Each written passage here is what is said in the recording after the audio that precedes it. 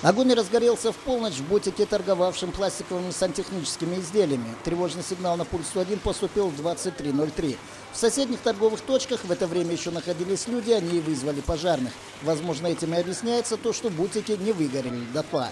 Уже через 10 минут после звонка дежурному на место происшествия приехали первые пожарные автомашины. К месту вызова было, было направлено 10 единиц пожарной техники, а, оперативно-спасательный отряд одна единица и одна единица Центра медицины катастроф. В общей сложности в тушении пожара принимало 70 человек личного состава. А, Пожар был локализован спустя 25 минут после прибытия первых пожарных подразделений. Еще через 15 минут огонь был полностью потушен. Всего в пожаре пострадали 5 торговых бутиков. Общая площадь возгорания, как выяснили позже спасатели, составила 130 квадратных метров. К счастью, обошлось без пострадавших. Сейчас проводится расследование причин возникновения пожара и устанавливается материальный ущерб, нанесенный огнем.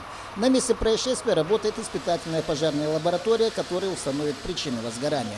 Как говорят руководители городского управления ПЧС, несмотря на отмену моратория на инспекцию объектов, этот рынок на предмет противопожарной безопасности не проверялся, не позволяет служебный регламент.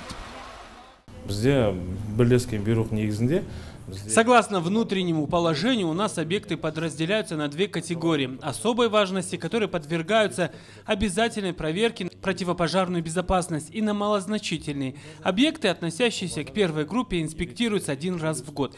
Те же объекты, которые относятся ко второй категории проверки, подвергаются в особых случаях. Торговый ряд Альянс относился ко второй группе. Ущерб, нанесенный огнем, владельцы бутиков исчисляют миллионами тенге. По словам коммерсантов, товар не был застрахован, и поэтому все убытки, скорее всего, лягут на их плечи.